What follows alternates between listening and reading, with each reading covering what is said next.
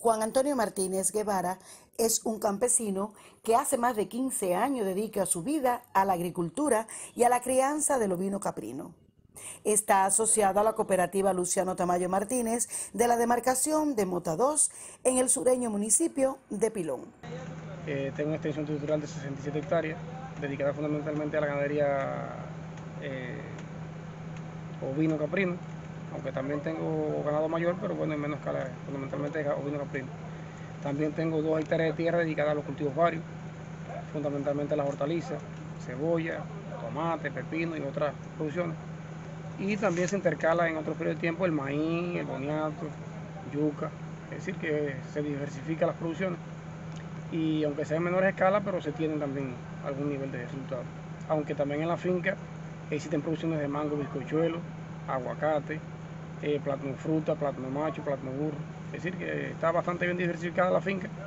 Y tenemos también garantizado un nivel de, alimento animal, caña, quingra, entre otras, para la, para la, especie de ovino, caprino y, y para las vacas también.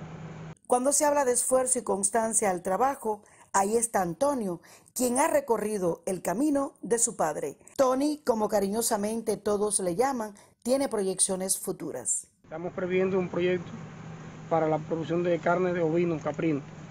En ella pensamos llegar a 200 reproductoras que ya tenemos también diseñado cómo vamos a hacer el proceso para la ceba de ovino, que tenemos ya también preparado un nivel de recursos ya para, la, para las tarimas, para cebar los, animales.